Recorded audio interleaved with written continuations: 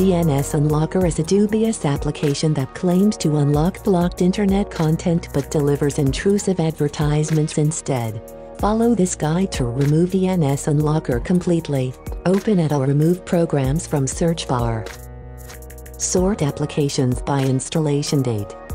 Uninstall any unknown applications that appeared recently. If any pop-ups appear, just close them. After everything is removed, restart your PC.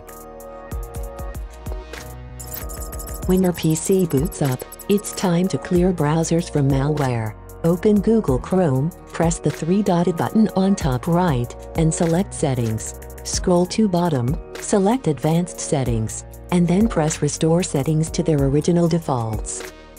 Now, let's reset Firefox.